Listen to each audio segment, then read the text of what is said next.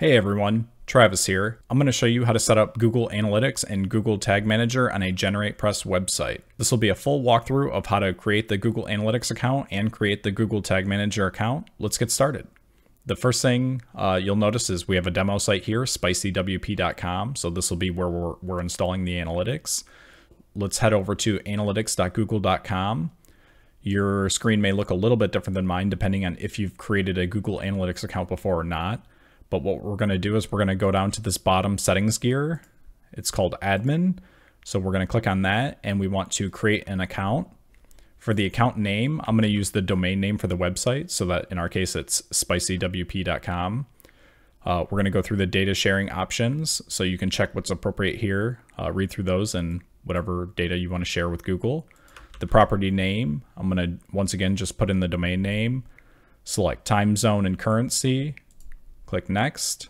Here, Google wants to know a little bit about the business that analytics is being installed on.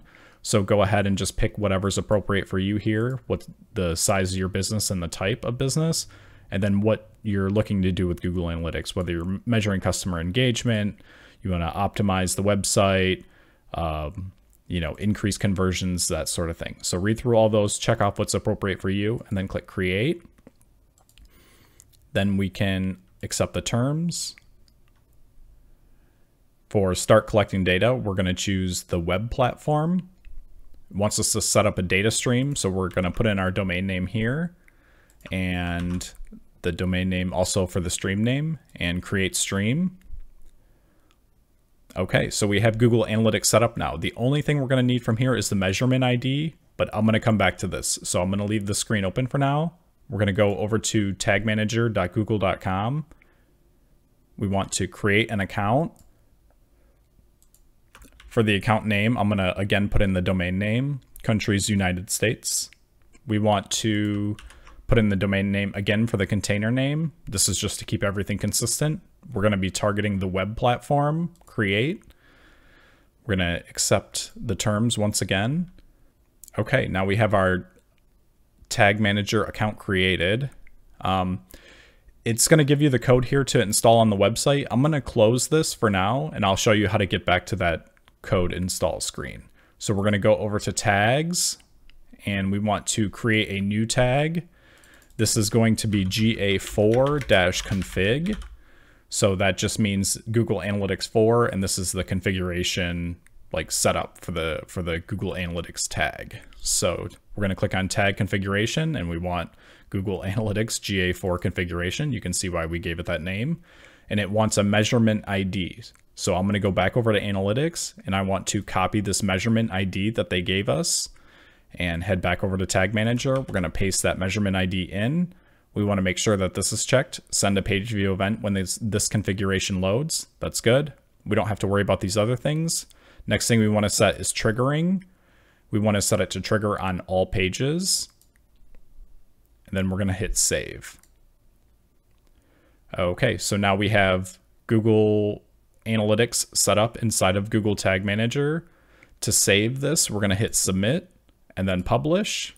It wants us to add a description, but we only really need to add a description if you're working on a team or something and multiple people are in here changing these containers. But if it's just us, we're probably okay with not putting anything in there. All right, so it's published. We can go ahead and close this. We want to go over to admin and we'll wait a second for it to load. And then we want to install Google Tag Manager. So once again, it's going to show us the code here um, for installing Tag Manager. It's going to give us one code that it wants us to paste in the head of the document and then additionally, it's gonna has another code that it wants us to put in the opening body tag. So what we're gonna do is we're gonna head back over to our website. We're gonna go into the admin panel, the WordPress admin, and um, the first thing that you want to do is if you're you want to make sure that you're running GeneratePress Premium. So if I go to my plugins, uh, I have this GP Premium plugin installed. If you don't have GeneratePress Premium, I'll have a link in the description where you can get it. But once we have GP Premium, we can go over here to GeneratePress. And we want to make sure that this elements block, or I'm sorry, elements module is activated. So you can see I already have it activated here. So if that's activated, it'll show up here as elements under uh, appearance, the appearance menu item. This is where we're going to add the Google Analytics. We're going to click add new element. The element type is hook and then create. For this first one, we're going to go back over here. It says paste this code as high in the head as possible. So I'm going to copy this code. We're going to call this Google Tag Manager Head. And then we're going to paste that code in there. For the uh, settings here, we need hook, WP head. That's correct. We don't have to worry about shortcodes, PHP, or priority. We're going to go to display rules and then the location. We want to choose entire site. That'll make it uh, show up on every page of the website, which is what we want and we're going to click publish. Okay, so now if you remember, we have one more code here. It wants this immediately after the opening body tag. So I'm going to copy that code. We're going to go back over to the website. I'm going to add a new element. The element is going to be a hook again. We're going to create. So this is going to be Google tag, if I could type. And then we're going to paste in that body code that we copied. So for settings, now this is where we're going to change the hook. And instead of WP head, this is going to be WP body open. So if you remember, it says paste this code immediately after the opening body tag. So that's right where we want it. Uh, we don't have to worry about shortcodes, PHP, or priority again. We do have to set the display rules to the entire site and publish.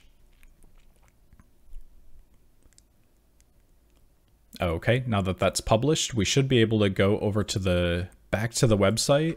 I'm going to refresh this page and then I'm going to check and see if it's showing up in analytics. So you can see last time we were in analytics, it says data collection isn't active for your website.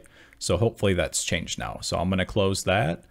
We're going to go over to home and all right, there we go. We got it. So your website's data collection is active. We can see that there's a user on the website if we went over to reports and then real time, you could see more data about uh, about the users. In our case, it's just me on the website. Um, but that's it. If you found this video helpful, then it'd be great if you could hit that like button. If you have any questions or issues, go ahead and drop a comment down below. I'll do my best to respond to all of those. And if you want to see any more videos on GeneratePress, Google Ads, Analytics, or Tag Manager, those are all tools that I work with every day, and I'd be happy to make a video on one of those. Until then, I'll see you next time.